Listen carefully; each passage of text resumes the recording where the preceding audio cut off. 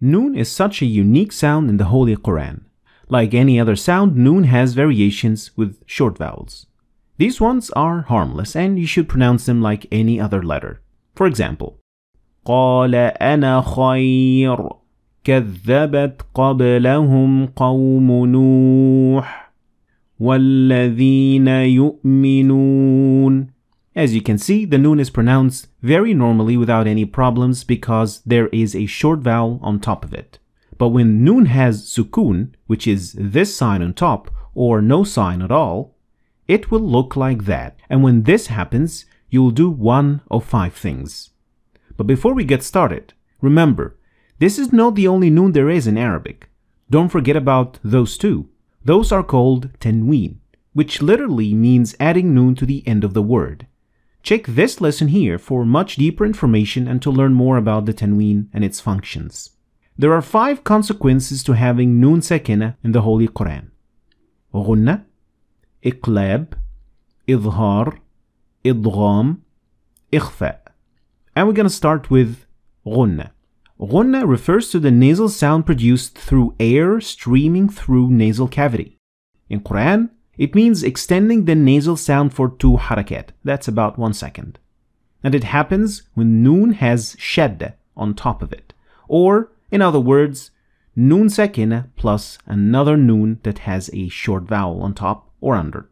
For example, وَإِنَّ جَهَنَّمْ قال لهم الناس إن الناس And the ultimate example is found in this ayah.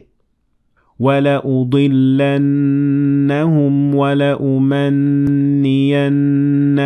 ولآمرنهم فليبتكن آذان الأنعام فليبتكن لآتكن آذان الأنعام ولآمرنهم فليغيرن خلق الله. Ghunna also applies to meme with shadda, since it is also a nasal sound, like in these examples. فلهما الثلثان مما ترك أمن هذا الذي also, Surat At-Takathur offers a very good training for ghunna with its both types. ثم لتسألن يومئذ عن النعيم As you can see, there is meme with shadda, so you give it two harakat, and noon with shadda, so you give it two harakat, and this is the ghunna. Second is iqlab. An iqlab is something we discussed in the Quranic symbol lesson which you can find here in this link. And it is distinguished with the meme symbol on top of the word. Iqlab means change, and when ba follows noon sakina, you should assimilate them into meme with two harakat, like these examples. فلم تقتلون أنبياء الله اتخذتم العجل من بعده so as you can see, it is not necessarily within the same word, it could also be between two words. Notice if there is any movement or a short vowel on top of the noon or under, then nothing special is going to happen, like these examples. وعنبا وقضبا وحصورا ونبيا والجار الجنب so we pronounce the noon and the ba separately normally like any other letter. Next is idhar, which literally means showing, and it means you'll normally pronounce the noon if it came after one of the throat sounds.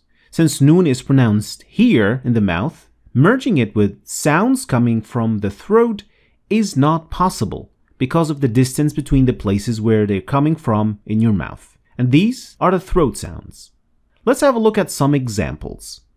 إن هذا إلا أساطير تولوا قوما غضب الله فصل لربك وانحر أتعجبين من أمر الله So we pronounce the noon normally without harakat or anything, just like a normal letter.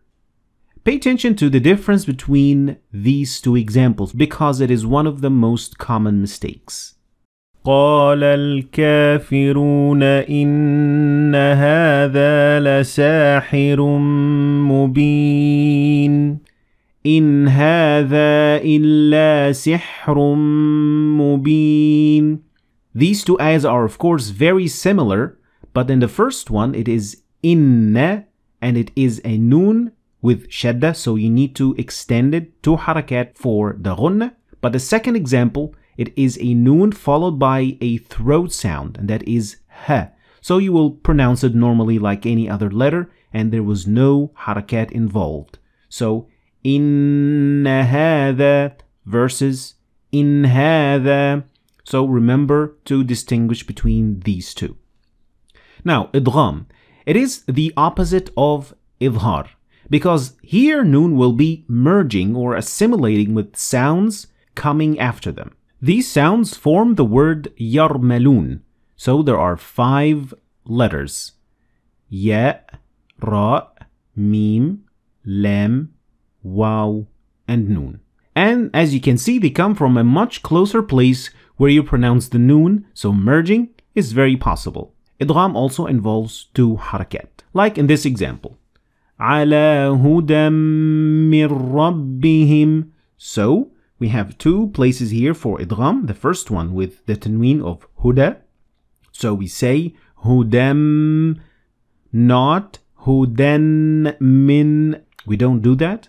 The second position is between the min and rabbihim, and we merge them together and we say mir rabbihim not min rabbihim, but we say من ربهم.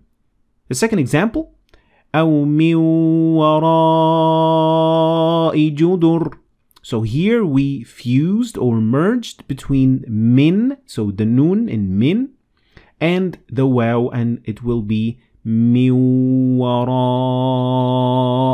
So we fused them together. Next example. وَيْلٌ so here it is the tanween of wail and it was merged with the ya in yawma idh. So it would be wailun yawma idh. Ikhfa means hiding. Remember, we say hiding, not merging or removing. In other words, the noon will be eclipsed or colored by the sound that follows it. To understand what that means, we'll take a look at the things you need to do to pronounce a proper noon. First, you need to let air through your nose or the nasal cavity. Second, your tongue or the tip of the tongue should be pressing against the alveolar ridge or the upper front teeth. And to perform the ikhfa, you'll need to keep the first but remove the second one and replace it with the shape that your mouth will take for the following sound. This whole process should take two harakat.